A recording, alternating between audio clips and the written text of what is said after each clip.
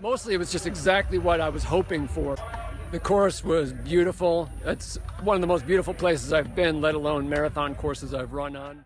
I was uh, mere meters away from antelope, uh, zebras, uh, some dog like creature I couldn't identify.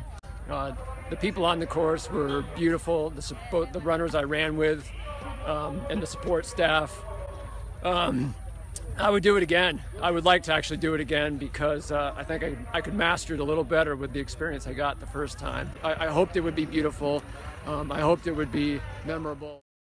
Yeah, I actually, um, I, I uh, intentionally try to eat uh, mostly uh, Kenyan traditional foods since arriving in the country about a week ago uh, because I felt that it would give me an advantage.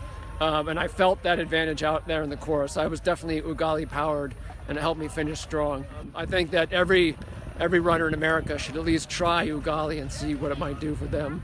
Yeah, well, thank you very much for endurance. Uh, for I mean, this is just such a great concept, and the execution was even better. I I wouldn't be here if not for uh, endurance people like Corey and yourself, Papa, to, to hold my hand through the process and make it comfortable to, to do something as unfamiliar and adventurous as this.